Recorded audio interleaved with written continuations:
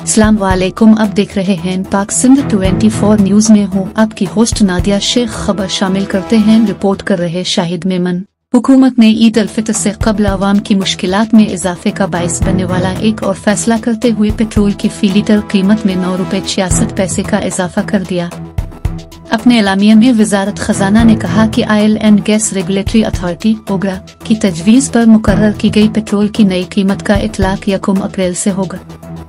इजाफे के बाद पेट्रोल की नई कीमत अब दो सौ नवासी रूपए इकतालीस पैसे फ़ी लीटर हो गई, जबकि high speed diesel H S D की कीमत तीन रूपए बत्तीस पैसे कमी के बाद दो आठ दो रूपए चौबीस पैसे फ़ी लीटर हो गई।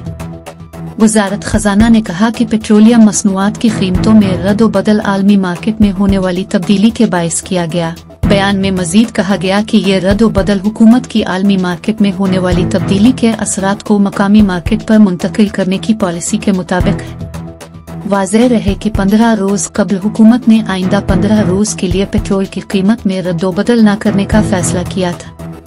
पाक सिंध 24 न्यूज़ के मुताबिक गुजश्ता रोज हुक्काम ने पेट्रोल की कीमत में अगले पंद्रह रोज के लिए तकरीबन 10 से 11 रुपए फ़ी लीटर तक इजाफे का तखमीना लगाया था। जिसकी बुनियादी वजह दरामदी प्रीमियम और आलमी कीमतों में इजाफा है। बाखबर जराए ने बताया था कि आलमी सियासी सूरत हाल की वजह से पेट्रोल की दरामदी कीमत में तकरीबन चार डॉलर फ़ी बैरल का इजाफा हुआ है और उसकी दरामद पर प्रीमियम तेरह अशारिया पाँच डॉलर फ़ी बैरल तक पहुँच गया है, जो की बारह अशारिया एक पाँच डॉलर फ़ी बैरल था। निजता हतमी शरा मुबादला के हिसाब से पेट्रोल की कीमत में 10 से 11 रुपए फ़ी लीटर इजाफे का तखमीना लगाया गया।